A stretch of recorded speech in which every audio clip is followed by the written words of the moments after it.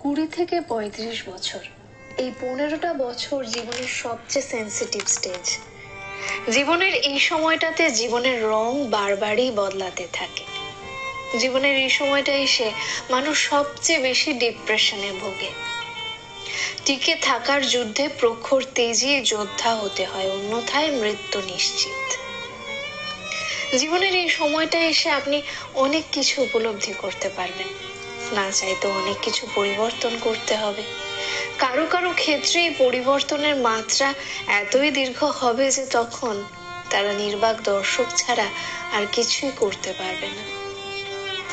জীবনের এই সময়টা এসে বেশিরভাগ মানুষই তার মাথা নত করে। যেমন ধরুন, আপনি এই বয়সটা এসে আপনার বাবা অথবা মায়ের কাছ থেকে টাকা চাইতে লজ্জা বোধ করবেন। নিজেকে সংকুচিত করতে থাকবেন। আবার ধরুন আপনার চাকুরি হচ্ছে না, তখন পরিবারের কোনো বিষয়ে মাথা উঁচু করে কথা বলা কিংবা কোনো সিদ্ধান্ত নিতে পারবেন না। প্রিয়জনকে হারাতে হয়, অনেক কিছু অনিচ্ছায় মেনে নিতে হয়। এই সময়টায় আপনি চাইলে হুট করে ট্যুরে যেতে পারবেন না। আপনার পছন্দের ক্যামেরাটা দোকানের গ্লাসের ভেতর থেকে দেখেই তৃপ্তি হতে চাইবেন। চাইলেই পরিবারের সাথে বসে আড্ডা দিতে পারবেন না, চাইলেই প্রিয় মানুষটাকে ধরে রাখতে পারবেন না। কারণ আপনার পকেটে টাকা নেই, ভালো চাকুরি নেই। ভবিষ্যৎ জীবন অনিশ্চিত। কিন্তু যখন আপনার বয়স পঁয়ত্রিশ পার হবে, তখন আপনার কাছে সব কিছু থাকবে। টাকা, পরিবার, সম্মান সব।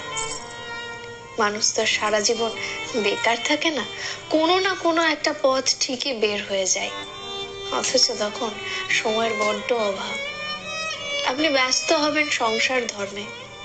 তখন ভুলেও যাবেন আপনার কিছু ইচ্ছে ছিল, কিছু স্বপ্ন ছিল।